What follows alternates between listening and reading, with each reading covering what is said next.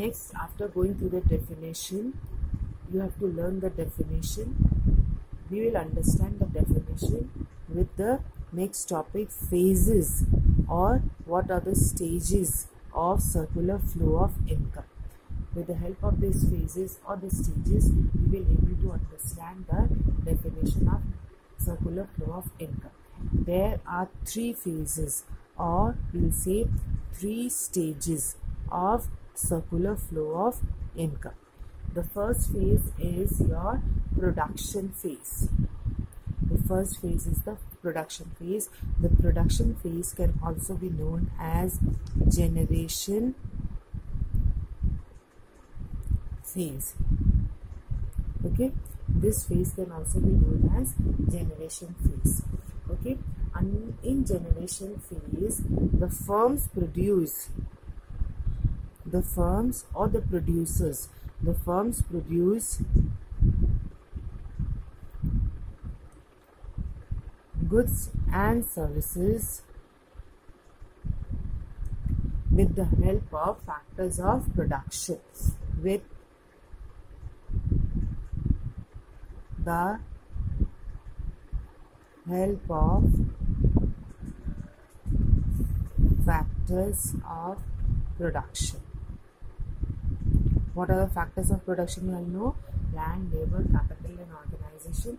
With the help of factors of production, the firms will produce goods and services in the generation phase. Now the second phase is your income phase. Income phase is also known as distribution phase. Distribution phase. In distribution phase, the there will be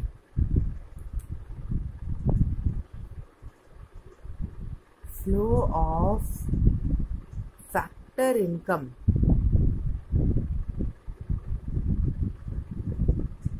Factor income means rent wages interest and profits from firms to households. Okay in the distribution phase. This phase what will happen? The firms will distribute the factor income which are the factor of the household. Factor income is rent wages interest and profits from the firms to the households. So these are distributed from the firms to the households. Okay?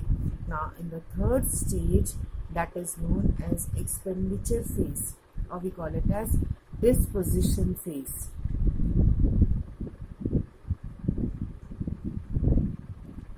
Disposition phase in this disposition phase the income which is received by the household. Income received by households are spent on goods and services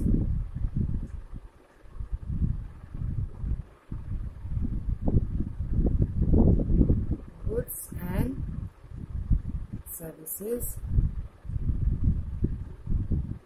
Produced by firms okay in disposition phase in the and finally and therefore the income generated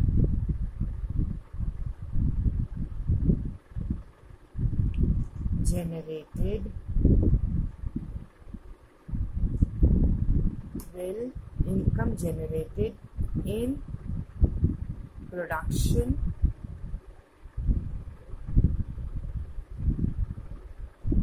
Unit reaches back.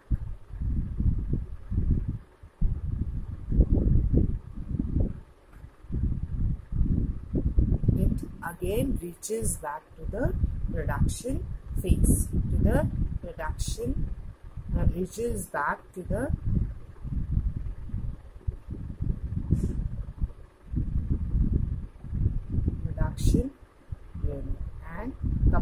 the circular flow model. Okay